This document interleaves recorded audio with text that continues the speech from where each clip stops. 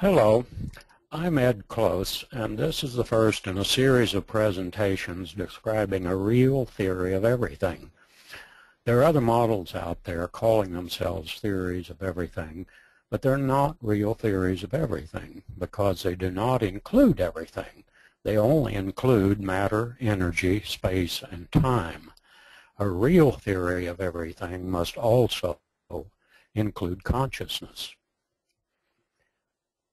In these presentations, I will tell my story starting from a vision I had more than 60 years ago about how I persevered, believing in my vision, writing and talking about it, when almost no one, except my wife Jackie and a few close friends, were interested, until about seven years ago when I connected with an internationally known neuroscientist, Dr. Vernon Neppe.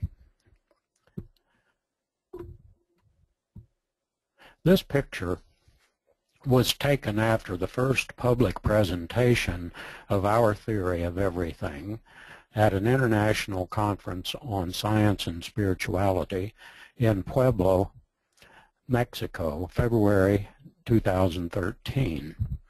Uh, we had over 2,000, nearly 3,000 people there, and uh, we gave uh, together several hours of presentations, and we did a a workshop beforehand, and we had about 150 attendees there, mostly students. For more information about doc, Dr. Neppe and me, please go to the video entitled Who Are Close and Neppe. From very different backgrounds, Vernon, an MD, PhD, director of the Pacific Neuropsychiatric Institute, and I, mathematician, physicist, and environmental engineer, found that we had arrived at the same realization, that science was overdue for a paradigm shift out of the limitations of materialism into a broader consciousness-based paradigm.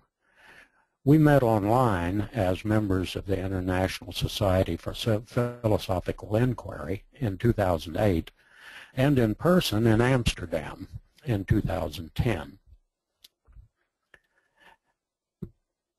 At an international conference on consciousness studies, I asked a famous physicist if he was a meditator, and he answered, no, why should I be?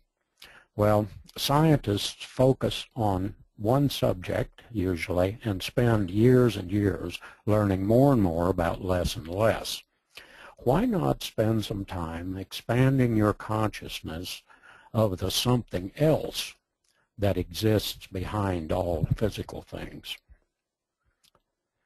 There is only one reality, and it is filled with matter, energy, and something else. In spite of what materialistic scientists may tell you, we simply do not have a theory of everything if this something else is not included in it. I hope you'll join me on the next video when I tell you more about our transcendental science and our new uh, paradigm shift. In these videos, I will tell you about the discovery of scientific proof of the existence of this something else we're talking about and the importance of knowing about it. Please note that these presentations are dedicated to my wonderful wife, Jackie. Without her understanding, patience, and invaluable assistance, they would not be possible. You can also go to my website, www.erclosetphysics.com for more detailed information. Thank you for, for listening, and I'll see you on the next video.